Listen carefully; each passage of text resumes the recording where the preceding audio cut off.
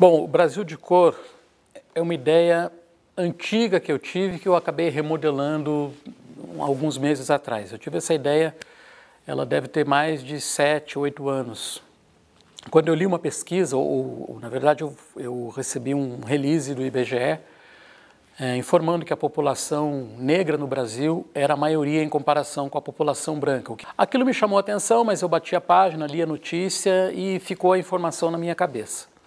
Um tempo depois, eu tive a ideia de trabalhar um pouco com essa ideia do negro brasileiro.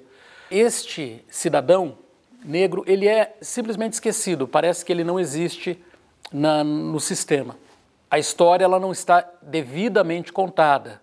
É, faltam alguns pedaços nessa história que, felizmente, algumas pessoas estão buscando é, pontos para tornar essa história completa essa mescla com, com personalidades, digamos, negras famosas, também é importante. Não que elas precisem dessa visibilidade, porque elas já têm, não que elas precisem ficar famosas, que elas já são famosas.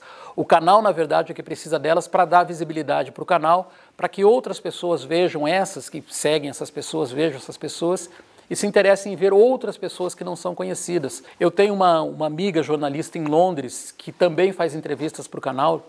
Nós temos essa parceria também fora do Brasil. O que eu espero para o canal é que ele continue crescendo e que ele cresça até o momento que ele chame a atenção de uma grande rede de televisão, de uma grande rede de, de um, um grupo de empresários, enfim, que entenda que esse canal ele é viável e ele pode ser uma forma digamos, inteligente do Brasil resgatar um pouco da história.